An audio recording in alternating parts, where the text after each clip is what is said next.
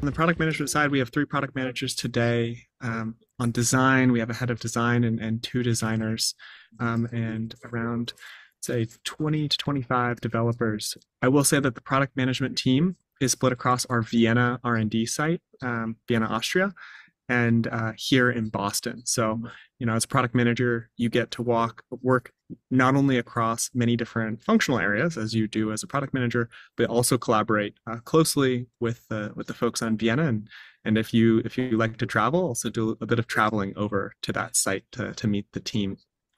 Um, I will also share that you know we're looking for I would say like two different you know types of profiles.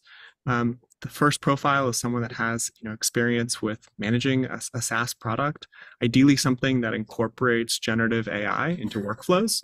Um, someone that has experience designing and measuring intentional feedback loops and evaluating the performance of, of AI systems.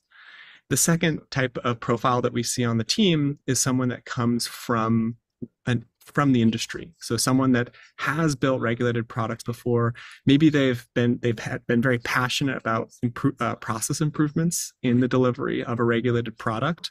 Um, I think particularly for these AI use cases, having someone with deep knowledge around the problem um, is almost you know more important than having deep expertise around how to build AI systems. We have an incredible AI team, and um, yeah, our head of AI uh, is ready to you know support any sort of the implementation and technical component, but really identifying and understanding the use case is critical. The other thing I, I would share is for those that want to get into product management, um, I'm very a, a, big proponent of the solutions engineering team or the pre-sales team as a great place to land.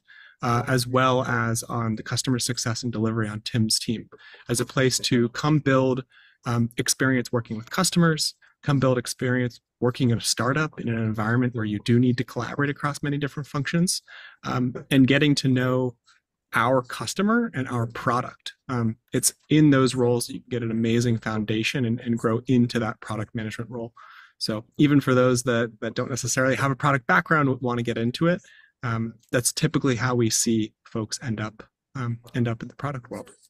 We are also hiring a service designer here in Boston, and this person you know, ideally has, you know, substantial experience in design and they're excited to work very closely with customers um, and the product managers that are based in Boston. So, you know, focused a lot on kind of customer experience mapping um, and user journey mapping um, would be a more of a main focus for that individual.